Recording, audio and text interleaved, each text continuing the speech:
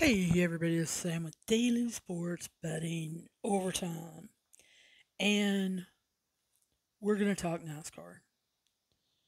Uh, they are at the Charlotte Roval today, which is a road course included into an oval.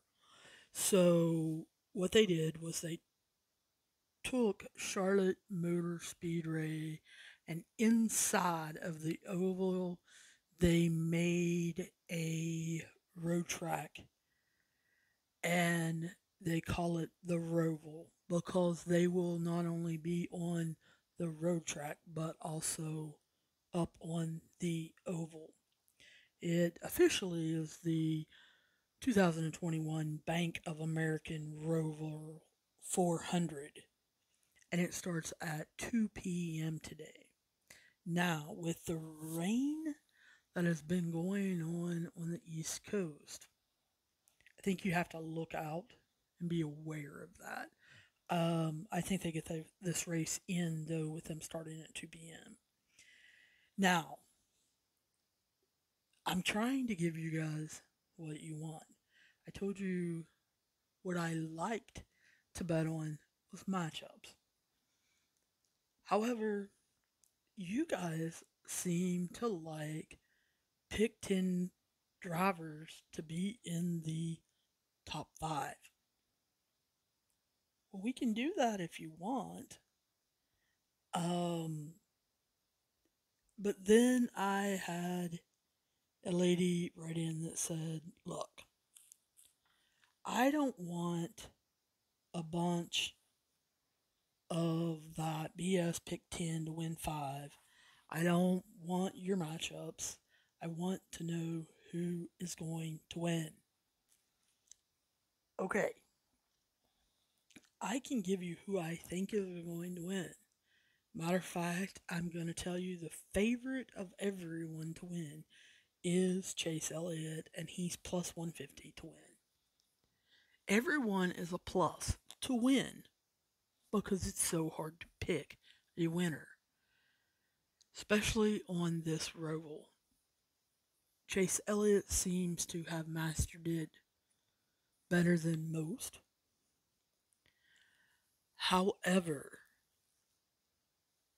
this roval is tricky. There's two corners in it where I don't know whether they lose focus or drivers are talking on their headsets or they're looking at the for the very next move they're going to be able to make the next hole that's going to open. But there are two curves that they usually kind of have crashes on because the drivers miss the curve and they try to turn last minute at a speed they should not be turning at.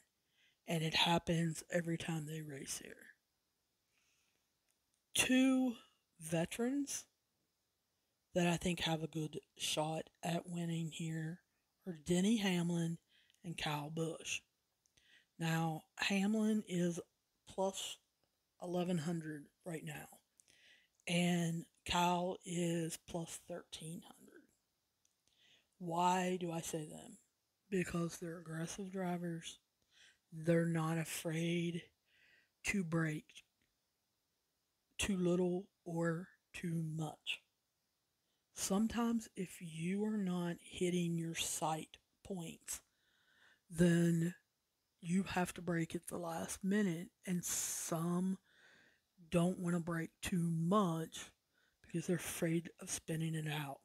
Denny and Kyle are not because they know how to handle when their car back ends on them because of dirt track racing, because of just being veterans, but they have, I think, the, I guess, average chance to win. The lady who wrote me specifically asked for dark horse favorites that she could really possibly win and win some big money. Well, okay. Um, I don't know of any dark horse favorites. Um, they're dark horses for a reason because they're probably not going to win. However, if I had to pick two young drivers that I feel like have a pretty decent chance of winning and they handle the Roval, it would be William Byron at plus 1500, which I don't know if that's enough big money for you. But the other one is Alex Bowman. And he's plus 3,500. So I'm thinking maybe he's more along your type. If you're going super dark horse and you're wanting a pick of like 15,000 or something like that, none of those guys are probably going to win. Um, it would shock me if they did.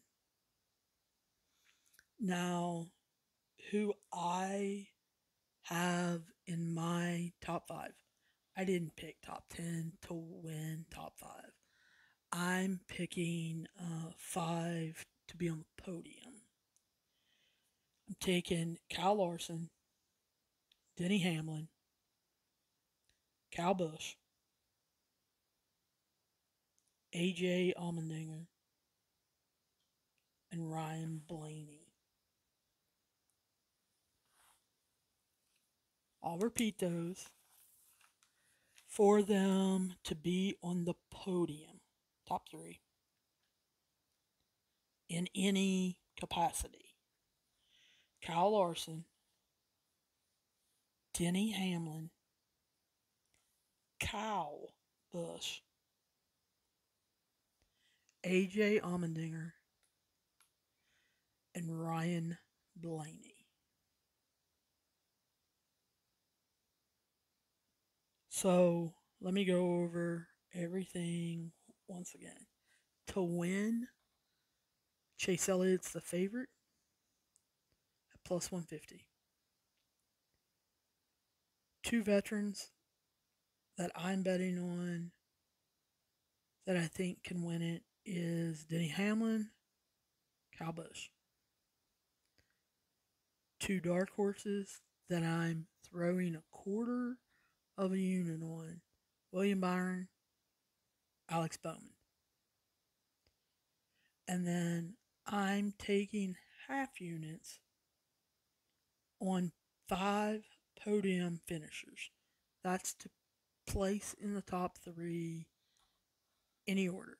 You can be third, you can be second, you can win. It doesn't matter as long as you're on the podium. So I'm picking Kyle Larson, Denny Hamlin, Kyle Busch, AJ Allmendinger, and Ryan Blaney. So that is my NASCAR picks. I'm not going to do matchups um, this week with the Roval. It's almost as bad as doing it at Talladega. But anyway, um, guys, as always, bet responsibly. Do not bet any more than what you can afford, please. Um, make sure that you're doing your research and you're picking your picks that you believe in. Said last episode, if you hate it, don't bet it. So uh, make sure that you are picking what you want to pick and that you're betting the amount you want to. Do not bet any more than you can afford. If you feel like you have a gambling problem or anyone close to you feels like you have a gambling problem, Stop. Call 1 800 Gambler. It's not going to take you that long. Go through their questions with them and answer them honestly.